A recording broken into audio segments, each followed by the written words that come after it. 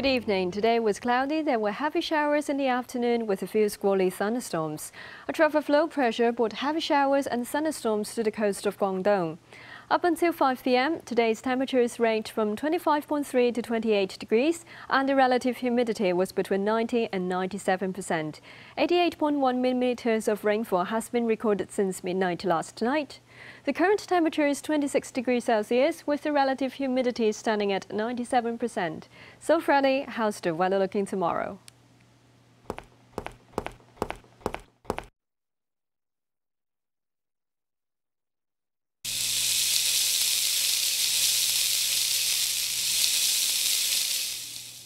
It will be mainly cloudy with showers. Temperatures will range from 26 to 31 degrees. It will be hot with sunny periods and one or two showers in the next few days. Tomorrow morning's air quality health risk will range from low to moderate. The maximum UV index forecast for tomorrow will be about 6. Now to the latest global weather update. Rain in Shanghai and Xiamen, cloudy in Taipei. Rain in Guangzhou, thunderstorms in Macau, cloudy in Chengdu. Cloudy in Beijing and Seoul, bright in Tokyo. Thunderstorms in Bangkok, Ho Chi Minh City and Manila. Thunderstorms in Kuala Lumpur and Singapore, cloudy in Jakarta.